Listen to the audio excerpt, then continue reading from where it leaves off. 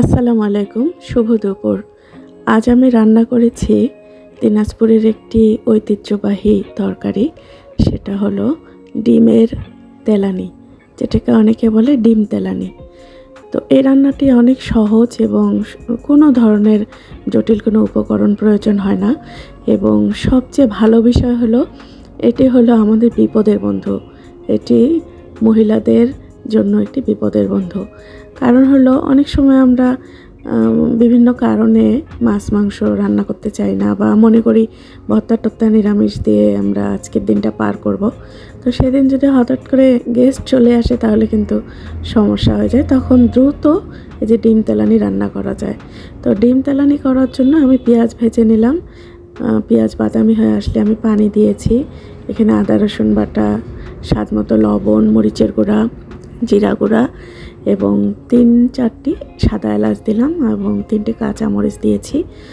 তো এখন আমি বেশি করে পানি দিয়ে ঝোল করে নিচ্ছি। এখন এখানে আমি ডিম ভেঙে দেব। ডিমটা আমি বাটিতে প্রথমে ভেঙেছি, তারপরে আমি এক এক করে ঝোলের মধ্যে ডিমটা দিয়ে দেব।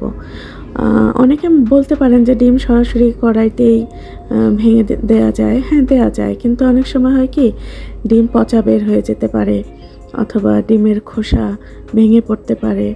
ঝোল থেকে তো সেই ডিমের খোসা খুঁজে পাওয়া মুশকিল। তাই আমি আলাদা করে বাটিতে ডিম ভেঙে নেই, তারপরে আমি ঝোলের মধ্যে দেই। এই যে আমি ঢেকে রেখেছিলাম, তো এখন আমি উল্টে নিচ্ছি ডিমটা। দিয়ে আবার আমি কিছুক্ষণের জন্য ঢাকা দিয়ে রাখব এবং চুলার আঁচটা আমি মিডিয়াম আঁচে রাখব। এই যে ঝোল কমে এসেছে, ডিমটাও ঠিকমতো বয়েল হয়েছে। এখন আমি যে সাদা এলাচগুলো দিয়েছিলাম, সেগুলো তুলে ফেলব। কারণ খাওয়ার সময় যদি মশলা মানে দাঁতের নিচে পড়ে বা খেতে খেতে মশলা যদি চিবানো যায়, তাহলে খুবই বিরক্ত লাগে।